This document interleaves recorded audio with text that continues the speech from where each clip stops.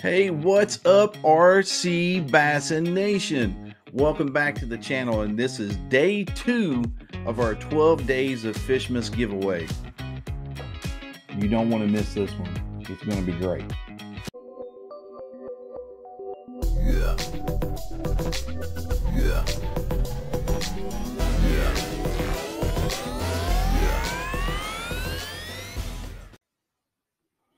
Hey, I really appreciate you joining us tonight for a fun little giveaway for the Christmas holiday season. Um, really want to uh, get in the Christmas spirit, and and what better way to do it than give away some tackle, right? Um, so before we get started with the second day of the 12 days of Fishmas uh, lure reveal, I want to give a shout out to a couple of folks who commented on the video uh, from yesterday. Uh, Double T Fishing Texas, Tight Line Rush. Matt over at Bread for Bass, and add Justin to fishing. So uh, appreciate all you guys commenting on the video. And uh, do me a favor, go over and check out their channels as well. They've got some great content out there, some things to help you get started on on your fishing journey, uh, or just to kind of help make you a better angler. So go over and give those guys some some uh, props and uh, show them some love. Subscribe to their channel and take a look at their videos as well. Hey, um, really want to th- say thanks to Ad Justin for the assist last night. He helped us identify that crazy looking bait. Um, that was the Yoda worm from 10,000 Fish Company. So, Ad Justin, thanks a lot, man. Really appreciate the assist. Um, and thanks for helping out RC Bassin here at the channel. All right, tonight we're going to go straight to it. Um, this thing is a shaker and a mover. Strap in and hold on to your seats because this thing's going to knock your socks off. Um, again, I'm going to do my my best to sing here, um, so um, you can you can uh, assess my my singing ability, but uh, please don't let that take away from uh, the great content of the video. So on the second day of Fishmas, MJ gave to me day two. What is it? It is. Holy smokes. It is a little boot tail jig, right? Um, looks like it's chartreuse with a chartreuse head, a really small hook. Got some gold glitter flake in there, a little boot tail jig. Okay, so as we committed to the channel early on, uh, we were going to talk about how to fish this bait, where to fish it, what kind of setup to put it on.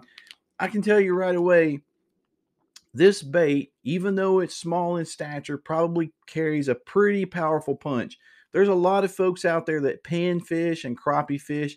So I certainly don't want to leave them out. Um, and I don't want to get cross with them because they're very serious about their panfish and crappie or paper mouth as we call them. Um, so you could probably use this bait very effectively in some small ponds, streams. I would throw this in my my bank uh, backpack if I'm fishing off the bank. Um, put it on some really light line, probably four pound test. Um, I would probably probably use fluorocarbon because that smaller jig, you really don't want your line to be visible in the water. And with that light weight, you want that line to sink to help take that bait to the bottom so that you can bounce along the bottom.